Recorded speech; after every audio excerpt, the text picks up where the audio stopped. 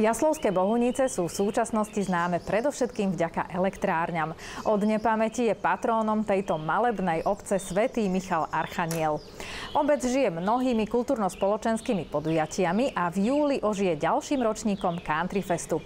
Viac o Country Feste 2018 povieme s jedným z jeho organizátorov, Romanom Áčom. Ahoj. Ahoj. Ani nemôžem tento raz povedať vitaj u nás, pretože ja by som samu seba mala e, privítať tu na pôde amfiteátra v Jaslovských Bohuniciach. Veľmi sa teším, že sme sa mohli prísť a že práve v tomto prostredí, kde sa odohrá Country Fest 2018, sa o ňom môžeme porozprávať. Pokiaľ viem, tak prvý ročník Country Festu bol ešte v roku 2002. Myslím, že pršalo, že sa ten ročník veľmi nevydaril a napriek tomu sme sa dočkali toho, že aj v roku 2018 je tu Country Fest. Môžeš nám urobiť taký stručný malý exkurs do histórie Country Festu? Uh, tak Country Fest začal v roku 2002, ako si hovorila, na dobrej vode, na kúpalisku. Prvý ročník, vlastne prvý deň prebehol, druhý deň nás skoro zmietla voda až až po Trnavu. Obrovská prietrž. Potom ďalšie ročníky boli na Majdáne 2003-2004. V 2005 nebol a od 2006 bol tu v Jaslovských Bohniciach. Potom e, ja som osobne odišiel zo štábu a festival bol premenovaný. No a pred tromi rokmi sa obec Jaslovské Bohunice rozhodla ho organizovať vo vlastnej režii No a odtedy vlastne už organizujeme tretí ročník. Ja som s jedným členom, som členom štábu, dramaturgom festivalu, ale pracuje na tom samozrejme tým e, pracovníčok kultúry obecného úradu. Pani starostka je jeden z najväčších podporovateľov, samozrejme poslanci a, a mnoho ľudí už potom počas festivalu. To, už je, to je tým zhruba 40 ľudí. Nedá mi v súvislosti s tým, čo sa stalo minulý rok, teda prišlo tu k tragickej udalosti priamo k úmrtiu eh, Karla Mrkvičku, speváka kapely Tak zmení kúsok odtiaľto na pódiu amfiteátra. Eh, nebol taký moment, že ste si na chvíľu povedali, že už nebudete organizovať ďalší ročník Country Festu a čo vám vlastne ako organizátorom v tej chvíli nejak bežalo hlavou? No ten moment bol v tej chvíli jednoznačne sme hovorili, že to je koniec, že to proste je nejaké buď znamenie alebo niečo. Ale potom, keď to prešlo, Uh, hovorili sme s rodinou a vlastne sme pripravili koncert pre Karla, ktorý sa potom od, odohral v septembri.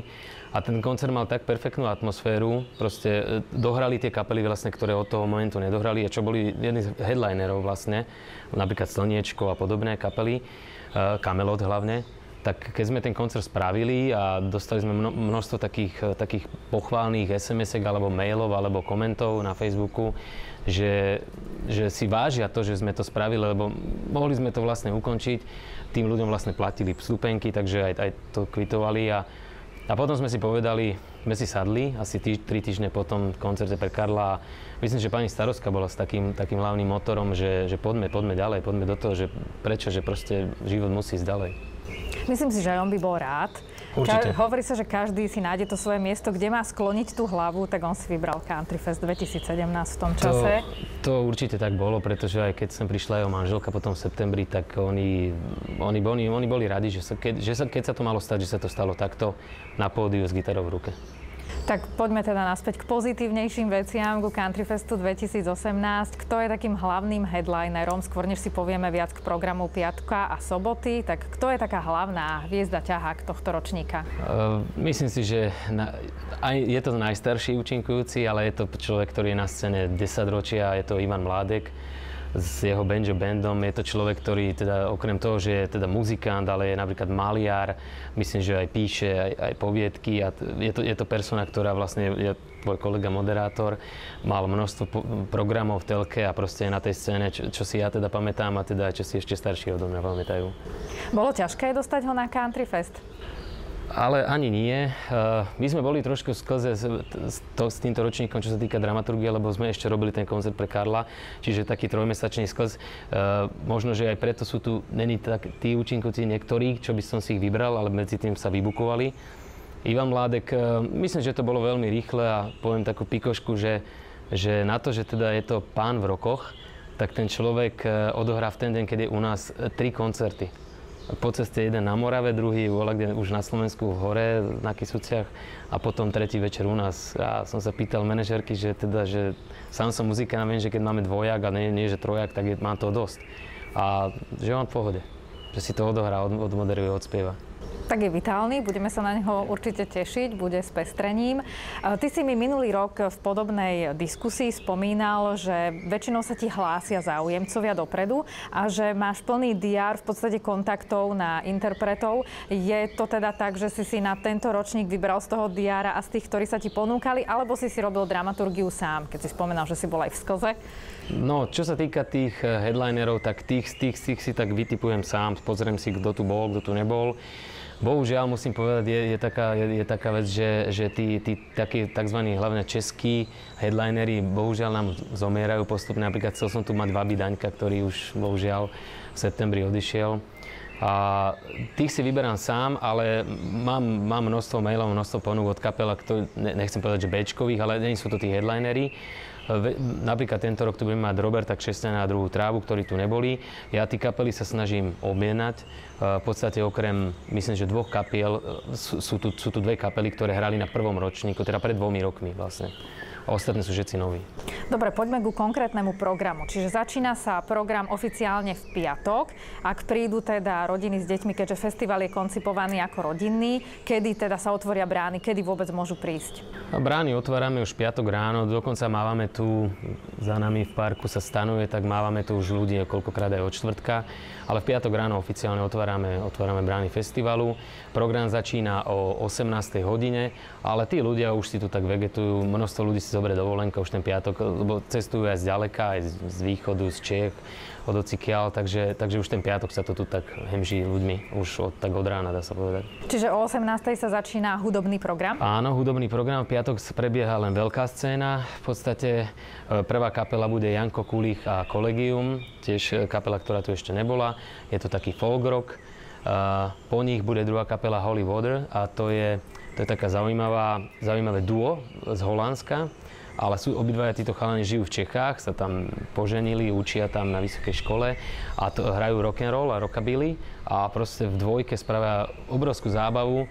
V podstate dvaja muzikanty na veľkom pódiu, ale je ich plné pódium. Je to aj taká vizuálna show a hlavne teda hudobná. Po nich ide jeden z headlinerov festivalu, kapela Žalman a spol. E, to je proste, myslím, že netreba spomínať ľuďom v tomto, tomto žánri. Je to, je to legenda. Žalman oslavil asi pred dvomi rokmi 70 a e, išli také veľké turné a vlastne to pokračuje až doteraz. A ten, je to človek, ktorý 50 rokov už skoro na scéne a proste má za sebou množstvo hitov a je to, je to, je to také folkovejšie, ale uh, my, veľmi sa na to sám teším a mám ho osobne veľmi rád, jeho pesničky. No a potom, potom je teda jeden z headlinerov Robert Šesťan a druhá tráva, to je kapela, ktorú myslím, že v Trnave nemusím veľmi predstavovať, lebo majú za sebou desiatky koncertov v Trnave ešte v rámci Dobrofestu a potom hrali aj tu v Bohuniciach. A teraz majú trošku obnovenú zostavu, ale Robert Šesťan a Luboš Malina, ktoré sú, a Luboš Novotný, tri hlavné persony tejto kapely sú stále tam. A sú, takisto sú na scéne už veľmi dlho majú za sebou veľmi veľa cd veľa hitov a osobne si myslím, že to bude veľký zážitok. No a piatok, piatok ukončíme vlastne kapelou Michal Tučný Revival, Plzeň, lebo sú dva revivaly, ale toto je revival, ktorý ja mám rád, pretože Rostia Fischer, spevák tejto kapely, vypadá jak, jak Michala Tučného syn, je to proste dvojník, má ho naštudovaného, má úplne identický hlas, proste má taký dar, že dostal tento hlas. No a to je jeden z účinkujúcich, vlastne, ktorý tu bol pred dvomi rokmi a preto som ho zavolal, lebo boli na ňom veľmi dobré ohlasy. Tak oni hrajú koncert, vlastne to sú všetko hity Michala Tučného, čiže celé to publikum to, to odspieva s ním. No a sa im tu strašne páčilo, aj keď majú veľmi ďalekú cestu, ale chceli, chceli hrať a proste tým, tým vlastne ukončíme ten piatok a bude aj, e, bude aj ta, tancovanie? Áno, v rámci áno. Country Festu to býva vždy z piatka na sobotu, áno? Ten takto, bál. Country Ball nebude tento rok, lebo skúsili sme jednu vec, že Nie že nám vytýkali, ale keď sme sa tu bavili s ľuďmi, ktorí sem chodia na festival a tak tu kempujú a hrajú si na tých gitarách, tak hovoria, že toho programu bolo toľko, že ani si nemali moc kedy tak zahrať. Takže teraz som, som sa dohodol s tými partiami, takými veľkými, to sú 10-15 muzikantov, ktorí sedia za stolom a hrajú, že, že proste nespravíme country ball. Inak u nás je to tak, že vlastne tí, tí ľudia aj tak či tak tancujú pod tým pódium, pretože tu je veľký tanečný parket, takže už na takého Michala Tučný revival tu sa bude tancovať vo veľkom.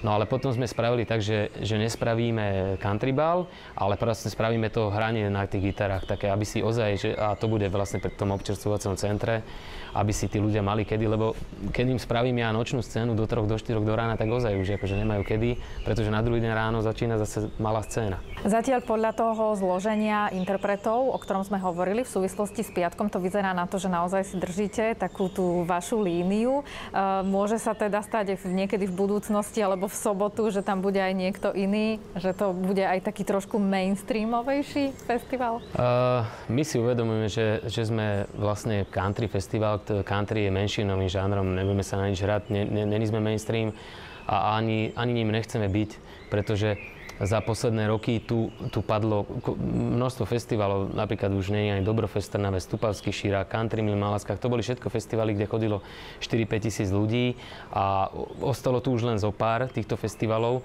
a proste chceme si držať tú líniu, ja nehovorím, že sme striktne country festival, pretože u nás je aj blues, aj folk, aj bluegrass a mož, aj akustická hudba, ale proste nechceme, nechceme padať do toho, že budeme volať nejaké kvázi akože známe alebo mainstreamové kapely, pretože e, z, z histórie viem, že potom sa to troška aj otočí proti tomu organizátorovi, lebo tí ortodoxní fanúšici, ktorí proste chcú ísť na toto, tak, tak tí, tí, tí to zase vyčítajú trošku tomu organizátorovi, že, že už, už, už padáte do takého priemeru a tých, e, myslím si, že tých mainstreamových festivalov je obrovské množstvo na Slovensku každý víkend, keď sa, keď, keď sa to tak zoberie. Dobre, tak sa budeme tešiť na piatok, ktorý bude v tom duchu, o ktorom sme hovorili. A čo máte pre nás pripravené na sobotu?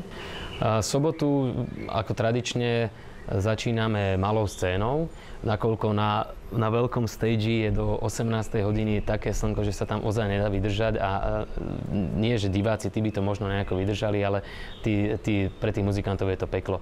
Tak tuto vlastne kúsok za nami je býva malá scéna, ktorá je pekne v parku pod stromami a sa tu dá vydržať aj kedy 40 stupňov. Takže e, zhruba o 12. začíname malou scénou a hneď prvé meno je Peter Luha, ktorý... A ten tu nebol aj minulý bol rok? tu aj minulý rok ale bude aj tento rok, nakoľko s jeho koncertom je spojená ešte jedna vec, taká špecialita.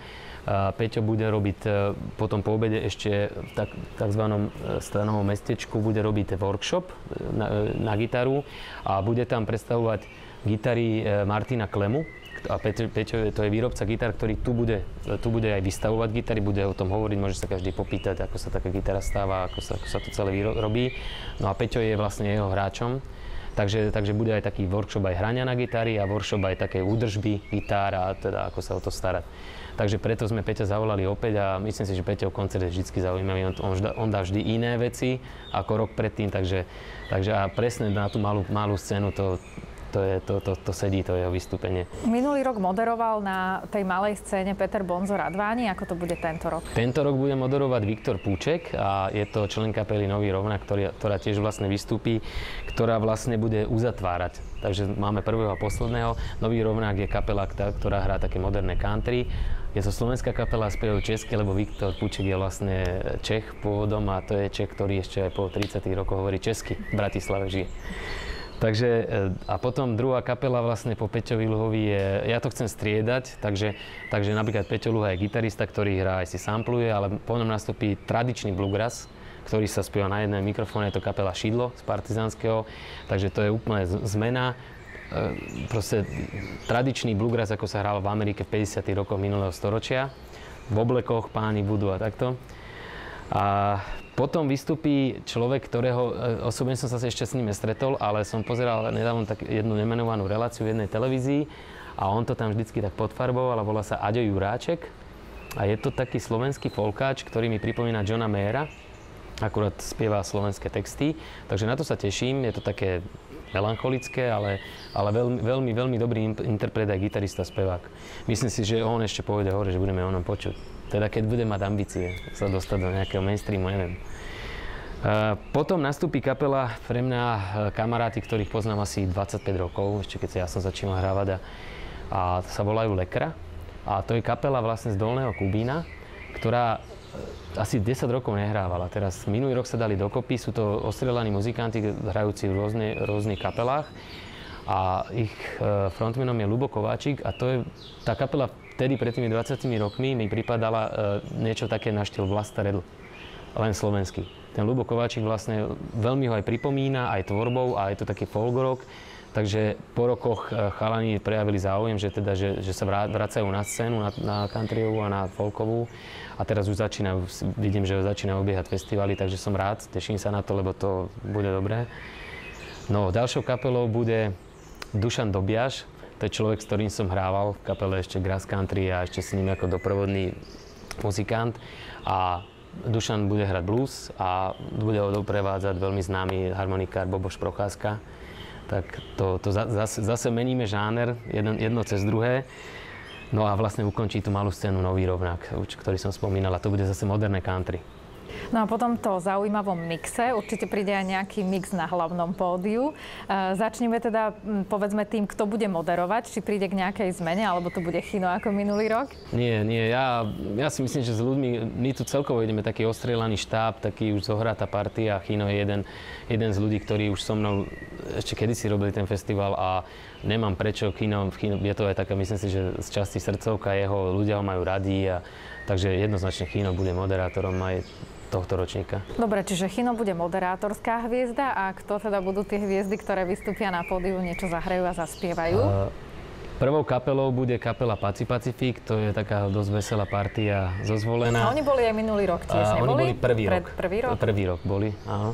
Takže tí, tí, tí prídu opäť, e, chalani, čo spievajú, spievajú slovensky a tiež majú už veľa fanúšikov, takto po Slovensku hrávajú asi 20 rokov, už sú na scéne, takže Paci Pacifik. Potom bude kapela, ktorá, ktorá tu nebola ešte ani raz, kapela Belasi z Bratislavy v Trnave je to troška také... také... Ale tak máme titul, takže máme mohli titul, by sme také, byť ja som, ja som spokojný, prežiť. prežijeme to. Ale to je partia okolo, okolo Igora Pavelicu, ktorý je už v podstate legenda na countryovej slovenskej scéne. Majú, vystupovali kedysi po programom Michala Dočolomanského. Na chalupe sa to volalo, áno, alebo áno. Ne, o chalupe to bolo. A vlastne v tej kapele hrá syn, syn Michala Dočolomanského, gitarista je. Takže takisto mali takú pauzu trošku a teraz majú zase opäť veľkú kapelu s bicimi, s basou, kompletná zostava, takže na, na to sa teším. A myslím si, že aj kopa ľudí si ich radi pozrú po tých rokoch. No, potom je osvedčená záležitosť Bukasový masív, to nemusím predstavovať v Trnave a v okolí kapela okolo Imra Dugoviča, ktorí, ktorí už tu boli, ale to sú kapely, ktoré sú veľmi vďačné a myslím si, že vždy, vždy si nájdu svojich poslucháčov a zabavia. Majú kopu hitov. No a vlastne po, po Bukase príde headliner Ivan Mládek a Benjo Band s Calamity Jane, s Lemkou Plačkovou a aj celá tá zostava. Takisto samozrejme z tej pôvodného, z toho banjo bandu už sú není medzi nami napríklad Ivo Pešák, to, to mi je dosť ľúto, lebo to bol, to bol týpek, ako sa povie. Ja zažil som ho naživo. Ale, ale videl som mládkové vystúpenia a stále je to sranda, stále on tí vtipy, ja neviem, kde to bere. Stále, stále to tak, trošku to tak upgradeuje a samozrejme, že budú hrať asi hity, ktoré, napríklad hrala Metallica pred nejakým mesiacom a pol. Dostali vlastne na výber v každej krajine, ktorej hrali pesničku te, a zaspievať v tom jazyku nejakú kapelu. No a myslím si, že dostali na výber Olympík, uh, Jahody mražený potom dostali, a Jožin z Bážina ešte jednu, no a ten Trulio, ten, ten basák si na šupu vybral vlastne Jožina z Bážina aj to dal. Je, ako, je toho plný YouTube tých videí a Ivan, Ivana Mládka, keď sa na to pýtali, vlastne, že čo na to hovorí, tak povedal, no co by měl hrát. No, takže to bude no. teda tá záverečná no, bodka. No ešte, ešte a po Ivanovi Mládkovi je úplná bodka, Aha. jak sa hovorí, že e, doraziť ľudí kapela Slniečko z Piešťan. Takže to, to je zase kapela, ktorá ktorá vlastne je tu veľmi známa, hlavne v okolí našom, nakoľko spievajú v nárečí, ale je to muzika, na ktorú sa fakt dá vytancovať, vyskákať. No a vlastne potom takisto sobotu bude to hranie na gitarách, ale na sobotu plánujeme vlastne po e, skončení malej scény chceme, chceme vlastne zložiť ten stage rýchlo a chceme spraviť tú, túto za nami v týchto miestach, e, spravíme táborak, nakoľko keď sme mali koncert pre Karla, sme to prvýkrát vyskúšali a myslím si, že ľudia to kvitovali, lebo dneska je taká doba, že vlastne sú deti, ktoré možno, že v živote nevideli oheň nejako naživo, že pozerali na to, že čo to je za nás to bolo trošku ešte ináč. Tak bude to taká romantika. Áno, áno, áno. A romantika určite je aj v stanoch. E, toto je taký obrovský, naozaj veľkorysý priestor, ktorý ponúka návštevníkom, aby mohli využiť tie služby tých stanov. Otázka teraz znie, či rovnako ako minulý rok si za poplatok môžu požičať husky stany, alebo či si musia priniesť svoje vlastné. No, je to na nich, ale e, v podstate spoločnosť Husky nám každý rok e, stavia tak, tzv. stanové mestečko, ktoré postaví asi 40 stanov a je to zadarmo dáva sa tam len záloha za ten stan v prípade nejakého poškodenia, čiže na, našom, na našej webovej stránke www.countryfestbolnice.sk e, sa dopatrajú k mailu, na ktorý sa dá vlastne prihlásiť a objednať si ten stan, ale samozrejme sem chodí väčšina ľudí, ktorí si donesú vlastné stany, sú tu už vytvorené celé partie, ktoré si spravia také kolečka, majú tam dva grily a tam, tam tam si vegetujú vlastne celý víkend. Takže, takže je možnosť aj si objednať ten stan zadarmo, niekto keď nemá, ale veľa tých ľudí je už vybavených v dnešnej dobe. A minulý rok ste mali takú akciu, že si to mohli návštevníci potom odkúpiť za áno, zvýhodnenú áno. cenu. Bude to tak aj tento Áno, áno, áno, je to, je to, je to vlastne za 50% cenu. Uh, tie, tie, tie modely tých stanov, ktoré tu budú. No my teda sme minulý rok ocenili okrem atrakcií, ku ktorým sa dostaneme, handmade trh, ktorý ste vymysleli prvýkrát. Aj sme si tu teda všeličo pokúpili. A otázka teda znie, či bude aj tento rok handmade trh. Áno, to, to, to bola taká vec, že sme to asi, asi tri týždne pred festivalom, len tak, neviem, kto to, to spomenul, že, že, že čo keď sme zavolali, my tu máme predajcov, samozrejme gastro, veľkú gastrozónu, kde, kde, kde je všetko, čo si kto čo si kto vymyslí. Ale mali sme tu aj stánky rôzne, aj teda nejaké, nejaké trička a tieto veci. Ale potom sme rozmýšľali, že, vy, že zavolať takých výrobcov, e, nie je Čína, ne, nechceme tu nejaké umelé veci z Číny, ale proste e, máme tu handmade trh, ktorý, ktorý vlastne je unikátne veci, každá vec je originál No a veľmi, veľmi sa nám to osvedčilo, začali sa nám tí ľudia hlásiť a hlásia sa nám aj tento rok. Teraz už asi máme 15 predajcov v, dneš, dnešku, čiže počítam, že to ešte narastie. A sú tam veci od, od cez kožu, drevo, papier, potom sú tam, e, neviem, bavlna, trička, potom sú tam e, tkáči, napríklad potom tetovanie henov, e, masáže, tento rok taká novinka bude. Takže bolo to, bolo to, aj celkové to veľmi dobre vyzeralo a celkové hovorili tí stankári, že, že aj, aj tí ľudia sa zaujímali dozaj o tú výrobu. Lebo takisto to je taká vec, že ktorú vidíš raz za čas na jarmoku, alebo nemá každý možnosť takto akože sa dostať takýmto veciam. Takže osvedčilo sa to a bude to znova. Poďme teda už priamo k sprievodným podujatiam. Viem, že sú rozdelené na sprievodné podujatia pre deti a pre dospelých. Čiže začneme možno teda tými dospelými a potom sa venujeme deťom. Tak eh, pre dospelých eh, vlastne bude to, to čo tradične t- také, také tie súťaže v pití piva, potom preťahovanie. Uh, minulý rok sme mali prvýkrát uh, samohlúbík a partia, tu nám pre, uh, spravili takú galašov pretláčači rukou vlastne. To sú chalani, ktorí chodia na majstrovstvá Európy. Bolo to zrovna v týchto miestach, túto Valtánku. A teda to nás dosť prekvapilo, koľko ľudí, ja som myslel, že sa budú hambiť, ale teda či to boli ženy alebo muži, tak tam bolo súťažiacich e, strašne veľa a teda bojovali, bojovali až až do konca a to by som aj do niektorých dievčat nepovedal. A bola že... aj nejaká žena, ktorá vyhrala? A, a, bola ženská súťaž a mužská, no. A mužoch boli takí chalani, čo, čo, čo trošku potrapili aj tých profíkov. Takže, takže to budeme mať a, a potom také tie, tie veci, stolný futbal, a takéto súťaže budeme mať, ale teda my sa prezentujeme ako rodinný festival a skôr sa zameriavame hlavne na deti. Lebo tí dospelí, tí, tí dojdú hlavne na tú muziku, dať si pivečko a teda zahrať si na gitare, po, po, podebatovať, ale tí deti treba zabaviť. A preto vlastne robíme už sobotu ráno o 9. začína vlastne detský program a tam máme detskú škôlku, kde vlastne tí rodičia, ktorí v piatok aj teda potiahnu trošku, tak aj si potrebujú pospať, tak my, my, my máme animátorky, tí deti vlastne zoberieme do, na 3 hodiny do našej opatery ale samozrejme môžu ten program absolvovať aj s rodičmi. Áno, my sme to tak minule absolvovali, že sme teda boli s dcérou a u nás teda rezonoval skákací hrad, Aquazorbing, to bola jednotka, jazda na koni a pozeranie sovičiek, výrskalný, uh-huh. bol tam v tom handmade. Uh-huh. Čiže toto všetko môžeme očakávať aj tento rok. Oplatí sa nám prísť? Áno, áno, aj to, toto všetko bude. A trošku sme, niektoré veci sme vypustili, zase niečo sme pridali ale vlastne takým headlinom tých e, sprievodných podujatí detských je cesta indiánskym lesom a tu ide o to, že tam je vlastne 5 stanovísk, je tam lukostrelba, e, jazda na koni, jazda na lodi, e, to je vlastne člnkovanie, nakoľko tu nedaleko máme, máme rybník a vodácky, vodácky klub z Jasovských bolníc každý rok nám pomáha vlastne s festivalom, ako aj iné spolky samozrejme obecné a vlastne tam, tam sa počunkujú. Potom bude, ďalšie stanovisko bude Marek Červený robí baseball, vlastne tam bude taká výučba baseballu a potom e, Didi vymyslel, lebo tieto veci robí jo, Jozef Didi Gálik vlastne a nejaký prechod cez rieku, sám neviem, čo to je, ale on vie. A vlastne to, to dieťa dostane tých 5 bodov, keď to absolvuje a vlastne my každé jedno dieťa, čo sem príde, odmeníme. V infocentre, nakoľko máme množstvo partnerov festivalu, tak máme množstvo vecí do súťaží. Každé jedno dieťa získa medailu z Country Fest Bohunice 2018 a vlastne toto je taký základ.